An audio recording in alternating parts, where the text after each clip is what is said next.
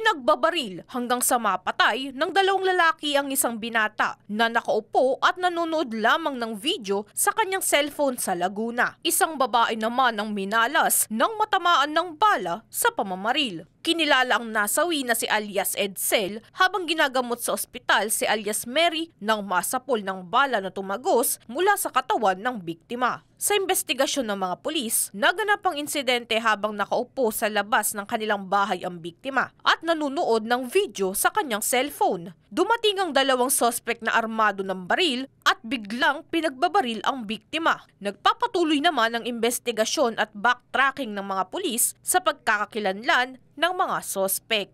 At yan ang aking news scoop. Ako, si Christine Belen, nagbabalita ng tama, naglilingkod ng tama.